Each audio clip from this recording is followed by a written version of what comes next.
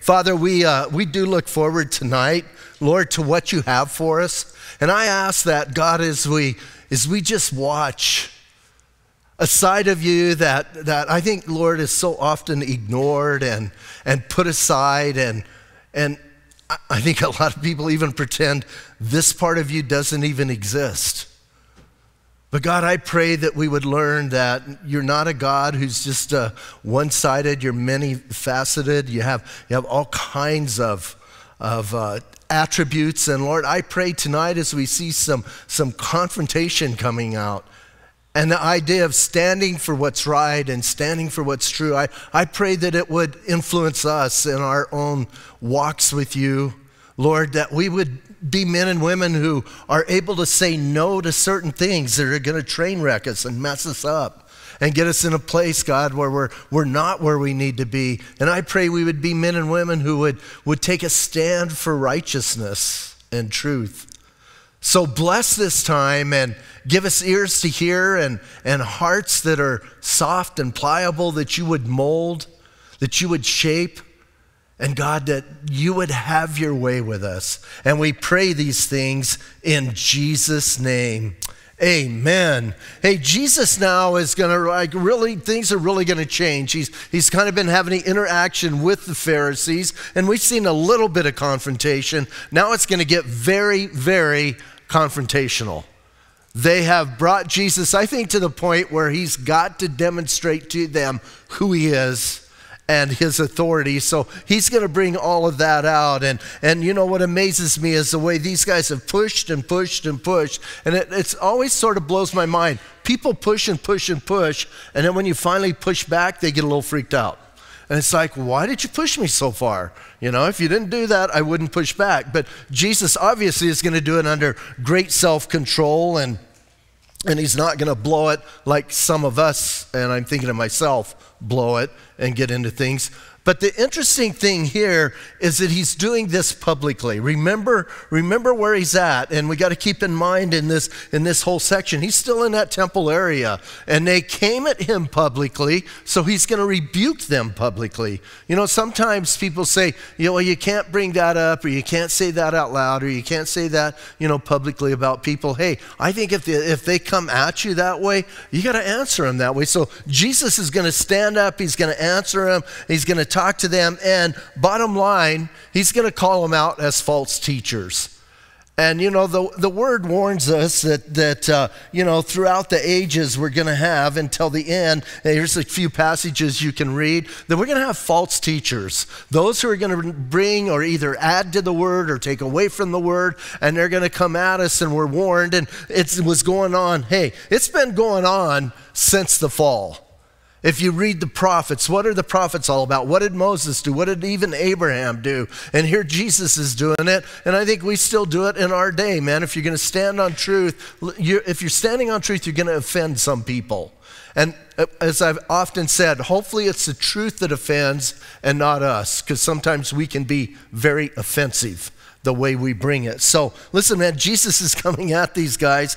And I think I, I kind of think some of this is comical. I'm not sure the Pharisees did, but I kind of do. So look at verse 1. It says, Then Jesus spoke to the multitudes and to his disciples, saying, The scribes and the Pharisees sit in Moses' seat. So, first of all, in the beginning of this chapter, he's not talking to the Pharisees yet. They're there.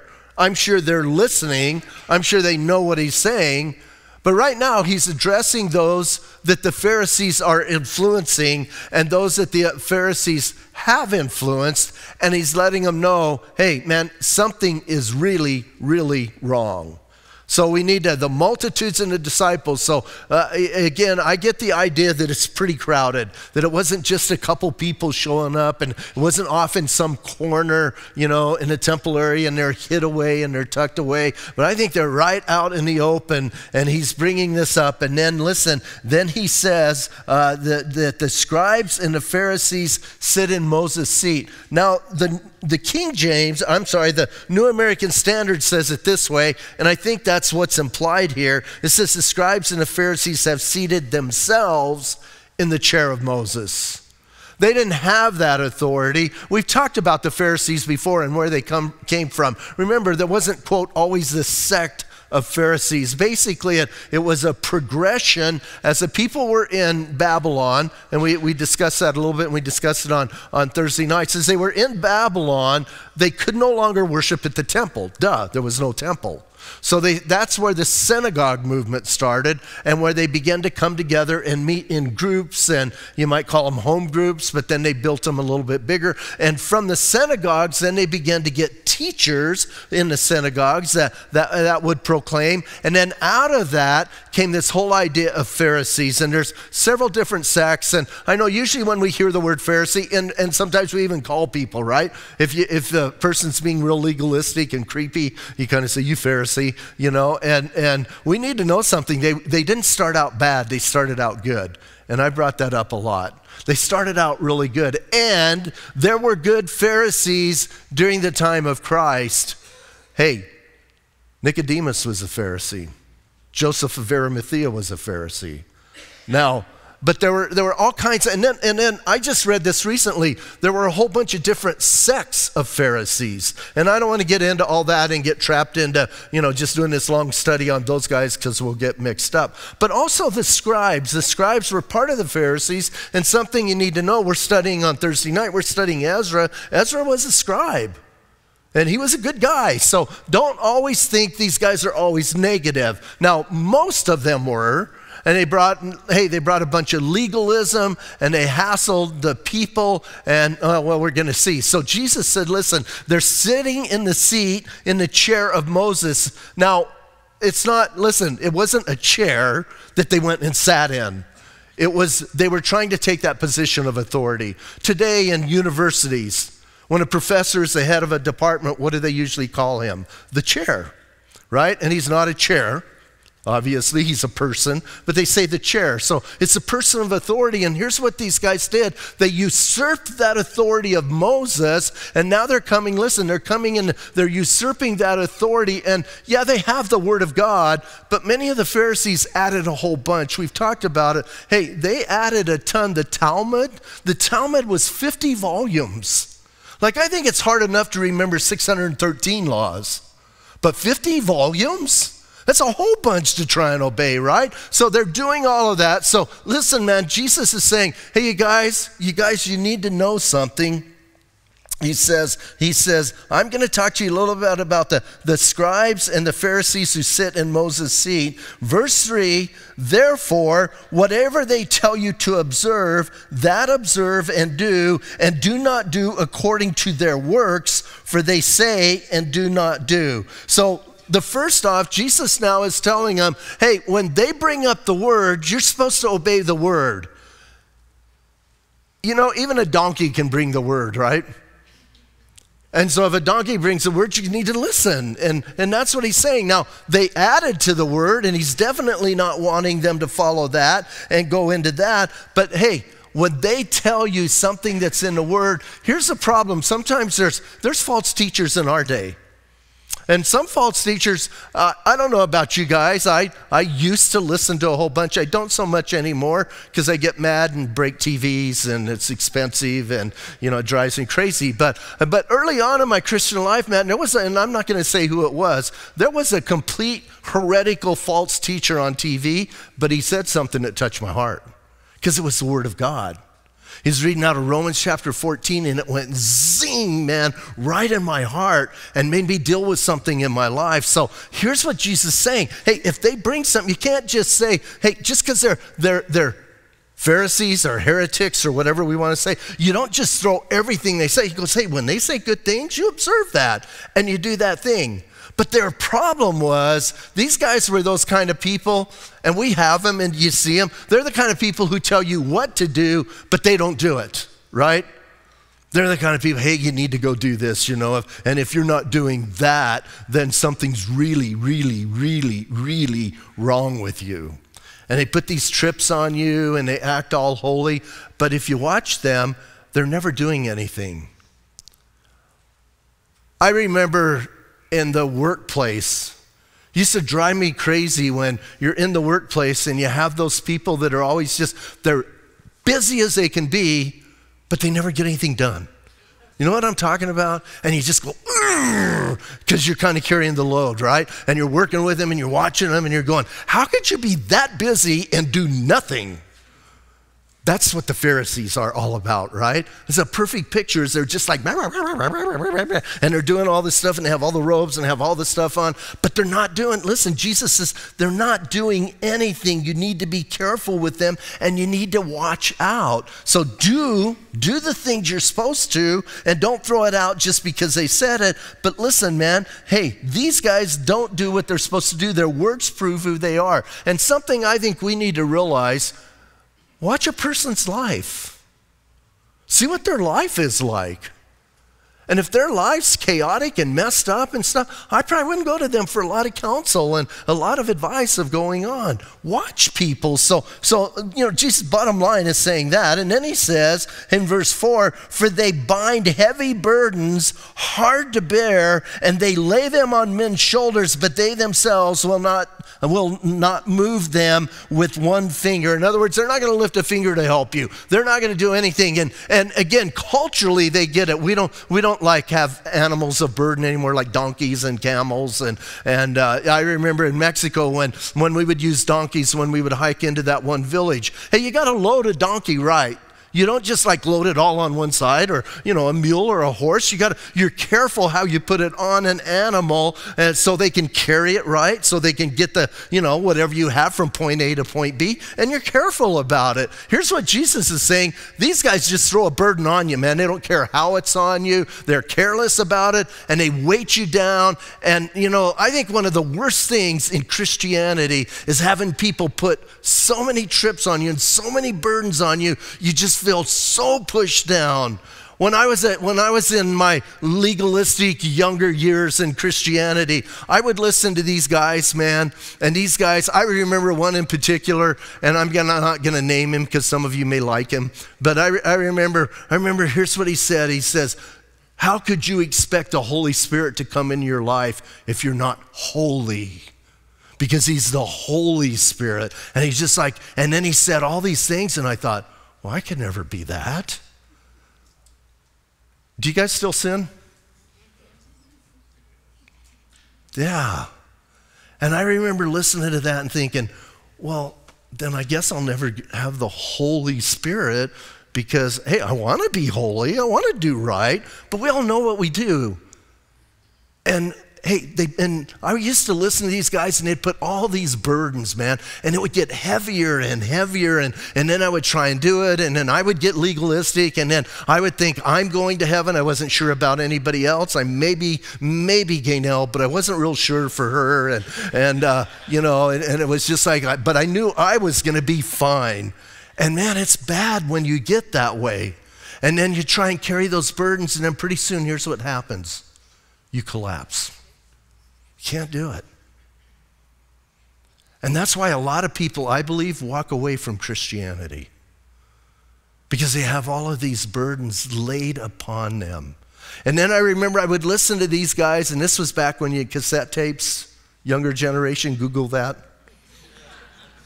And I, I, I, think I've shared before, I used, to, I used to mail, there was no Christian radio or anything. I was in Bisbee, there was none of that. And uh, there was heresy on TV. But I remember I used to get tapes and send them back and forth with his tape ministry in Tucson, and, and you know, and then and then I would listen to these guys, and I'd get all burdened down and weighted down, and then I would put on Chuck Smith, and it would be grace, and I'd go, oh, this feels so good. And then I would go back and listen to those. I don't know why I did that. Like I'd get all like, oh. And then I'd go back and listen to those guys for a while. And then I go, oh. And I finally got, I'm, I'm a little slow, I'm dense. So I finally got to the place like, why don't I stay in the awe zone, right? And then I went through the whole Bible with Chuck, and that's how, you know, I found Calvary Chapel and found the, the whole ministry. But man, they lay burdens on you.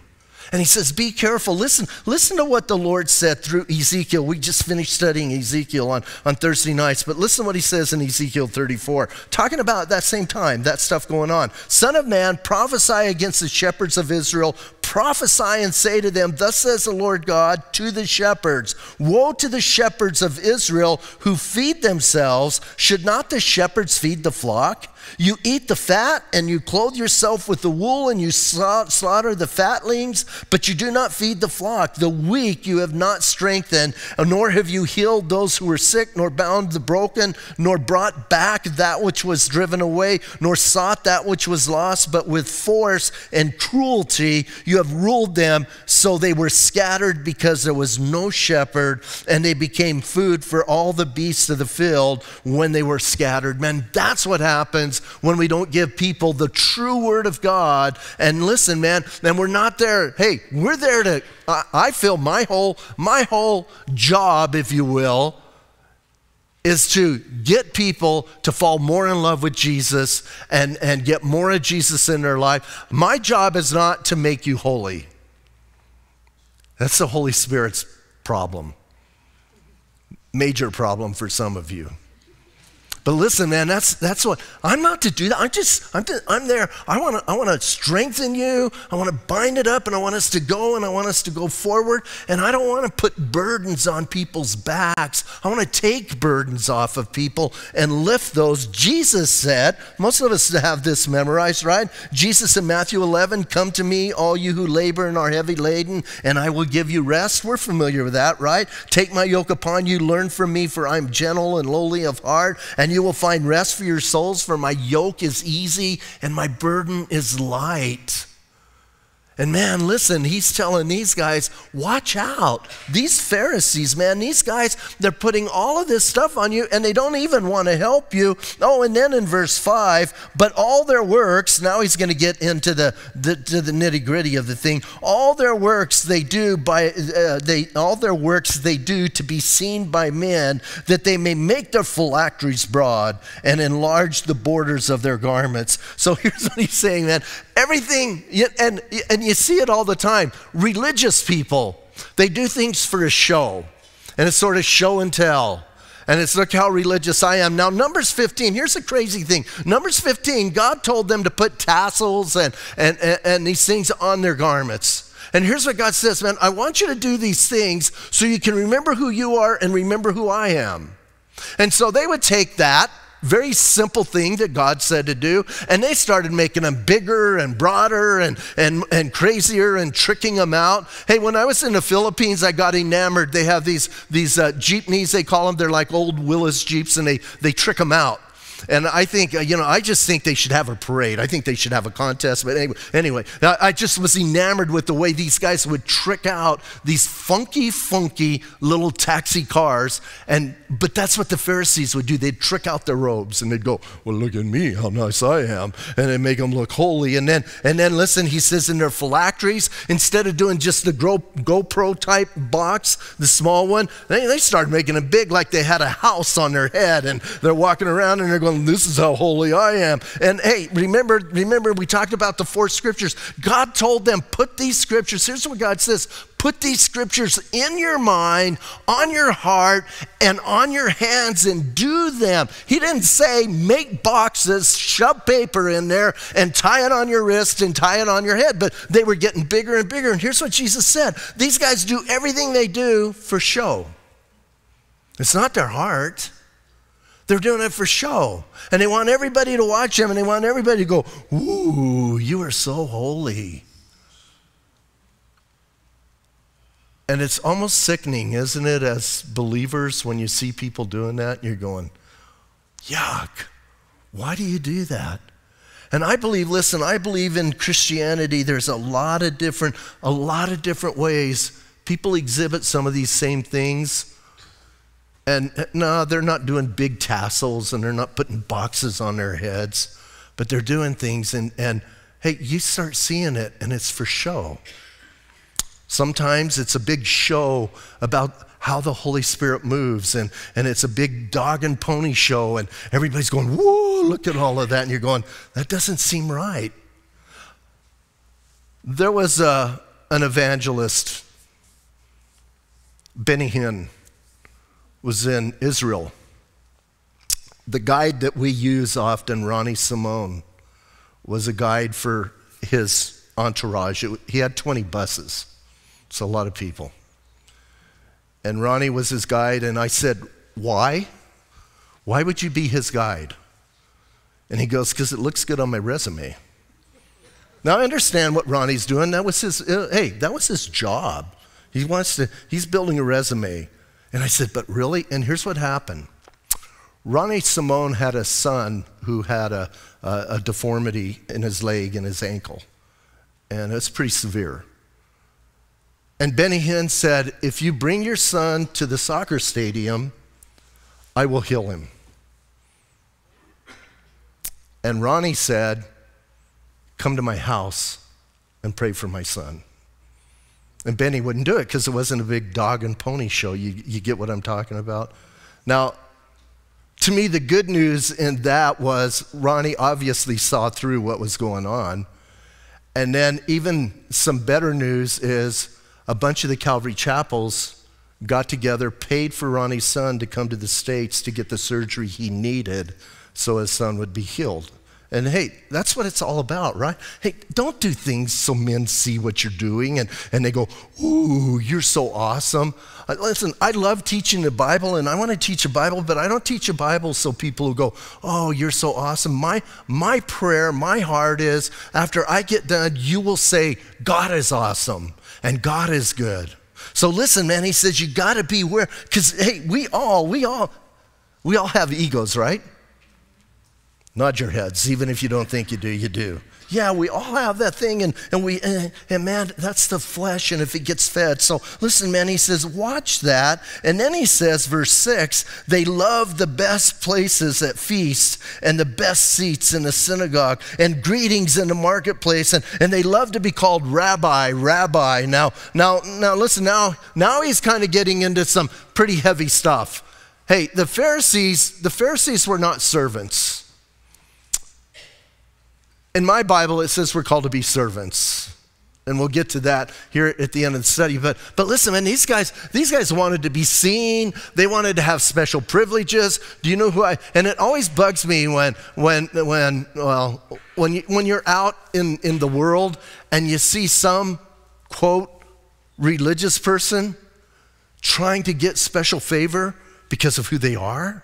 It's like, why are you doing that? This is weird. And they want the better seats and they wanted to be treated and, they wanted to be called by special names. Now, now listen, rabbi, we kind of think of rabbi as teacher, but rabbi meant more like supreme one or great one or most excellent one. And he goes, that's what they wanted to be. That was their motivation. Listen, they were doing what they were doing out of a heart that I want, I want people to recognize. And, Hey, and it's a fine line I think we all walk. We all walk that line. If you're serving Jesus and somebody says something nice to you, be careful. Now, listen, I'm not saying uh, it was funny after last week, someone went out and, like, because we talked about flattery last week, and someone went out and went, Oh, Pastor Pat, you're so awesome. You're so great. I punched them, but because, because they're being silly. But, but listen, it's okay. It's okay to tell somebody they're doing a good job. There's nothing wrong with that. But we have to be careful when somebody tells us we're doing a good job that that's not all of a sudden become the motive for why we're doing what we're doing. And one way, listen, one way to really check your heart in this, this is a good, just a practical application for this. If you're ever in a place where you're serving and you look around and you think, where are all the other people? How come I'm the only one doing this? You've just crossed that line. And you've just gone to the place where now you think you're somebody special because you're doing it and others aren't. Do you know not everybody's called to what you're doing?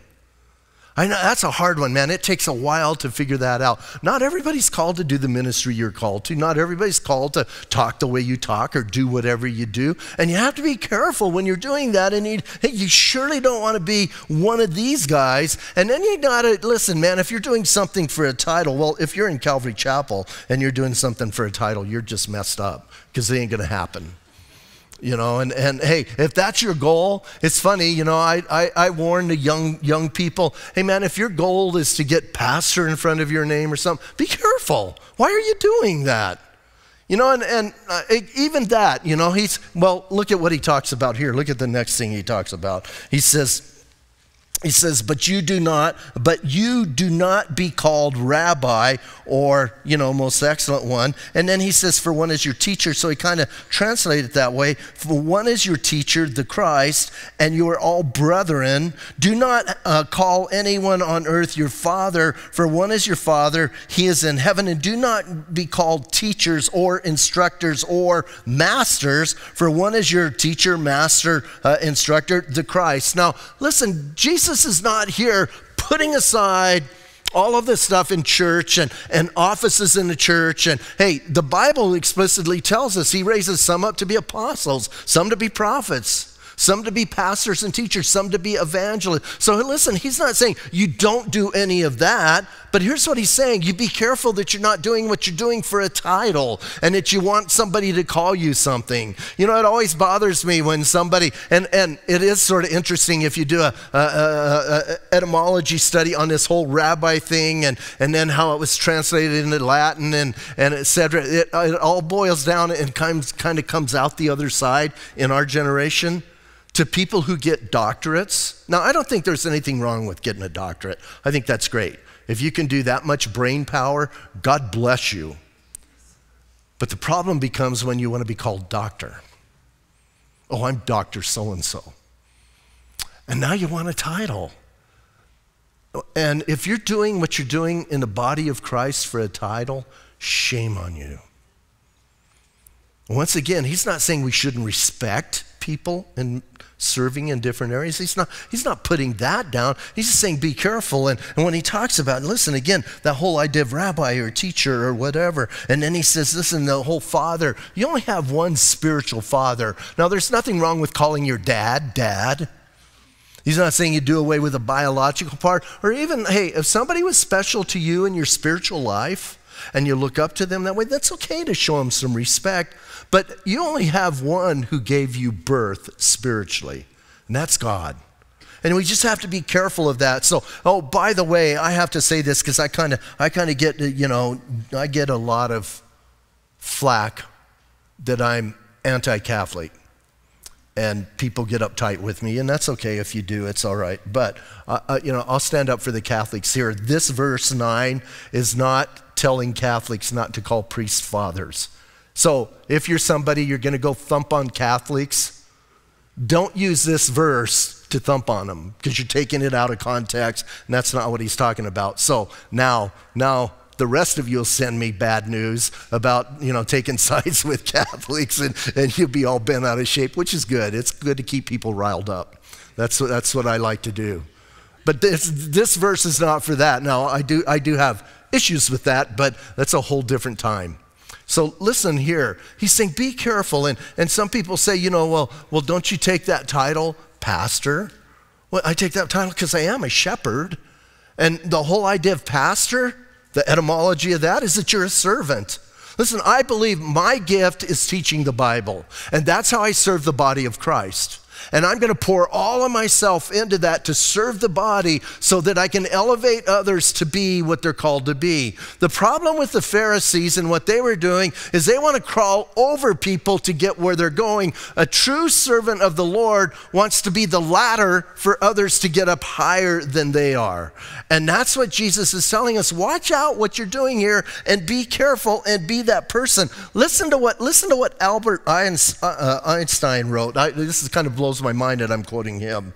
But listen to what he said. He says, to become a man of success, uh, he says, try not to become a man of success, but rather try to become a man of value. Wow. Well, that's a pretty good quote, huh? Hey, be somebody who's valuable and what's going on, and then you know what's going to happen? You're going to be very successful because you're valuable and you're an asset to whatever's happening. Hey, when people serve here at Calvary, we want them to be an we want them to be somebody who's valuable. And when they be, when they when they understand, I'm going to work and be valuable, then they become a real asset for the ministry and what's going on, and the ministry grows and and people are changed. So so listen, man, Jesus lays all of that out. Now here's what I'm thinking. I'm thinking there's some people by him like grinding their teeth right now. Oh, it's going to get worse. But I think right now they're thinking, I just want to shoot this guy. Well, I guess they didn't shoot people, but you know what I mean. Can't believe he's saying that stuff. And I believe, listen, I believe the disciples are going, wow. Remember the culture, remember what's going on. Hey, these Pharisees and scribes, they've been running stuff for a long time. They've been in charge. And that's something that breaks my heart when I see people trapped in a system because that's all they know. And I believe, listen, I believe we have an obligation to teach people and to free them from systems that have trapped them. Hey, right now we're all about, there's a huge movement within Christianity and out of Christianity to stop this whole sex trade thing going on and human trafficking. And, and I think, man, listen, I think we need to be about that.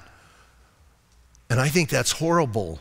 But I also think it's horrible when people are trapped in systems that are just pushing them down and sucking all of the spiritual life out of them. And that's all these guys. So think about the disciples, man. This is brand new information. We're used to it, and some of us are going, man, we know all this. Why are you spending time on this? Some of us may not. But think about, think about how it was affecting those guys. Just, just the 12. They had to be going, wow all their lives, they looked up to those guys with the long tassels and the big boxes on their head. And they always thought they were so spiritual and so great. And now along comes this guy who's just blowing all of that out of the water and saying, Man, you need to understand, those guys are ripping you off. And he wasn't doing it because he didn't like those guys. He did it because he loved the disciples. So, not only them, but the multitude, it had to get a little bit tense by, uh, by the temple that day on that Temple Mount area. Oh, and then he says, listen, he says the one the one that a lot of us are, are extremely familiar with. He said this before, verse 11 But he who is greatest among you shall be your servant, and whoever exalts himself will be humbled, and he who humbles himself will be exalted. Yeah. We're to be servants. You know, one of my favorite passages, John chapter 13, right? Most of us know that. Remember, they go into the room. We're going we're to, go into that room in Matthew, but we're not going to do the John thing because that's special to John. But remember, John recorded it. They went in a room and everybody sat down to eat. And Jesus got up and got the basin and got the towel. The thing that blows my mind about that is everybody knew. Listen, everybody in that room, read it for homework, read the whole passage. Don't just, don't just read part of it, read the whole passage. Because every man in that room knew one thing the lowest servant picks up the basin and the towel. And every one of them walked by that and said, I'm not doing that. I ain't to do that. These are the good guys, right? As one says, these were the A apostles, not the B apostles. I mean, these are the ones Jesus chose. And they all walk by it and go, ah. I think they all thought the one guy, right? Thaddeus. Nobody remembers his name.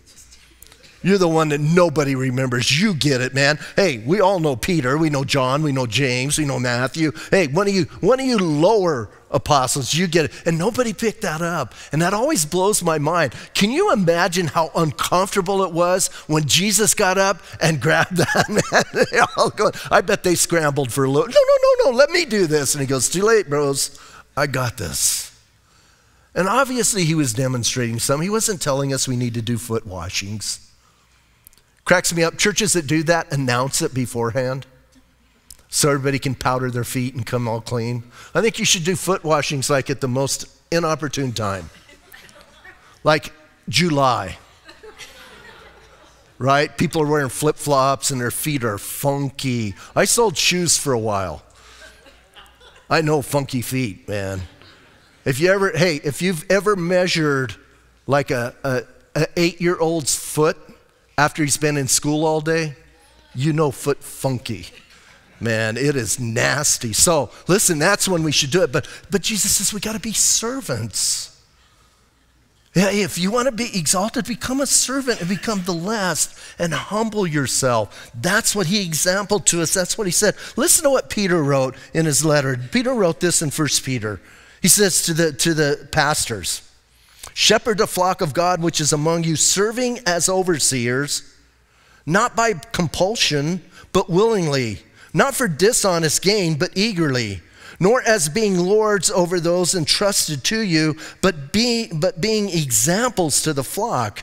And when the chief shepherd appears, you will receive the crown of glory that does not fade away. Likewise, you younger people, submit yourselves to your elders. Yes, all of you be submissive to one another and be clothed with humility, for God resists the proud, but gives grace to the humble. Don't you love that? And that's Pete, man, and it took him a while to learn that. So Jesus now now imagine, man, imagine now at that moment, man, the disciples are trying to process this, the multitudes are trying to process this. I think everybody has a look of wonderment on their face, and the, and the, the, the Pharisees are like growling, right? They're like, you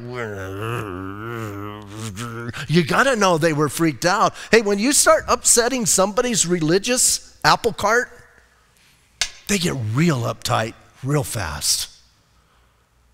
So we're going to stop here, then we're going to read next week the woes. Then it's going to get hot and heavy. So you got to come back. Right? I'm hanging you out there, so you have to come back and find out what's going on. You can read ahead, but man, I don't know about you guys, but I read this section in Matthew, and I, here's what I think. Man, I'm thinking, I'm thinking, number one, everybody on that Temple Mount was influenced by what he just said.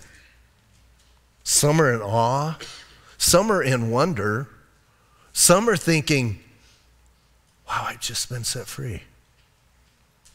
I've just been set free. Hey, if you've ever been bound up in legalism and you get set free from that, there's nothing better. And you generally don't go back unless you're brain dead. But you don't want to go back to that if you've been bound up in it. And there's nothing better. And I can imagine some of these people of the multitudes are going, Yes. And I believe, man, they started shouting it from the rooftops. And it got pretty tense in those days right before they arrested him and killed him. Let's stand up and pray. Jesus, as we think about this and look at this, we thank you, God, for the challenge that we have. We thank you, Lord, that, that we, can, we can read the scripture, and for some of us, some of us is challenging us.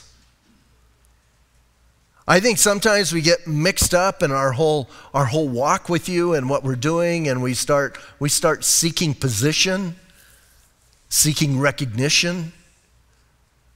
Lord, we start desiring for people to see us. And God, we can get so derailed. And I pray that tonight, for some of the young people here, wanting to serve you, wanting to go further with you, that God, this would touch our hearts. And I pray for some of the rest of us, God, that would touch our hearts and we would make sure that we're doing what we're doing because we want to bring you honor and glory.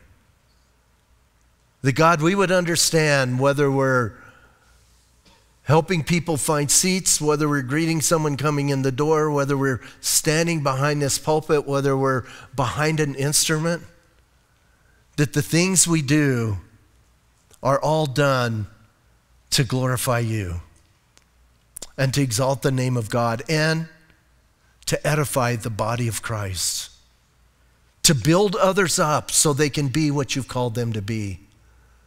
So, Lord, give us hearts that we understand we're nothing but servants. If we played and sang a song well, that's good, but it was your song. If we teach the word, that's good, but it's your word.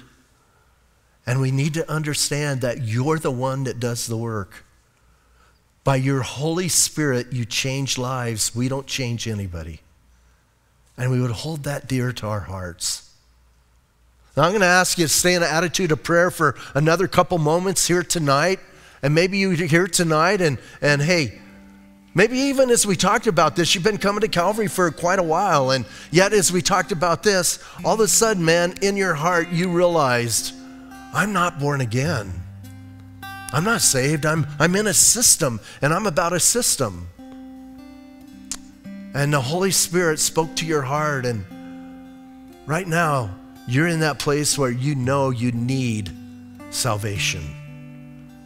Maybe you just visited tonight and came in, and, and God touched your heart and, and, and let you know that you need this thing we call salvation.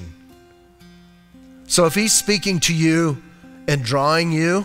I know you're a little nervous right now and a little concerned, and that's good. But Jesus is calling you into a relationship with Him. And you need to make a choice right now. Do you want a relationship with Him or stay where you're at?